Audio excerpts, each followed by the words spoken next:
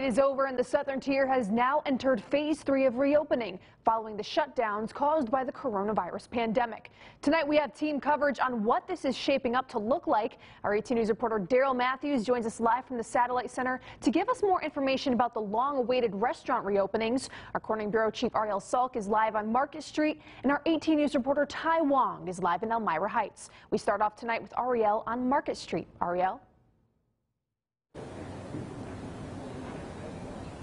Good evening, Jordan. I am here on Market Street, which is still buzzing with people coming out here to enjoy not only the nice weather, but the street closure.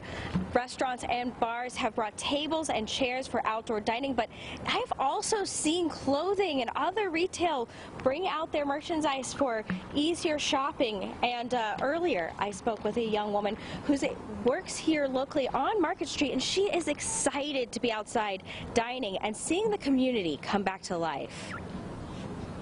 It's really nice to see everybody like down the street and just be able to walk around and not worry about cars or anything. It's nice to be able to walk Market Street and just see everybody outside now. It feels more normal now than before when everything was shut down.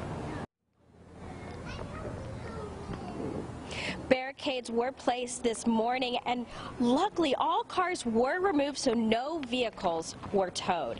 And there were concerns today brought up that the 10 handicap handicapped or accessible parking spots on Market Street would no longer be available, but we have been informed that there are 30 handicap spaces available in Centerway parking, which is available for free.